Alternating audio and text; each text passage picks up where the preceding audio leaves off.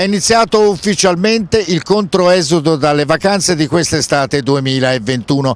Sotto pressione le principali arterie della Toscana, in particolare le autostrade, la Firenze Mare, l'Autosole, la 1, nel tratto appenninico che porta tutti quanti verso nord e verso il rientro a casa.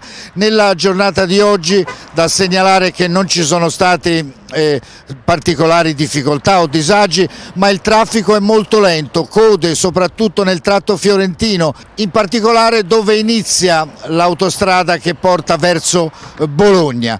Code anche sulle superstrade, la Firenze-Pisa-Livorno, dove si è segnalato un incidente nell'area dell'interporto della città labronica e sulla Firenze-Siena, ma qui la situazione è stata sicuramente più positiva.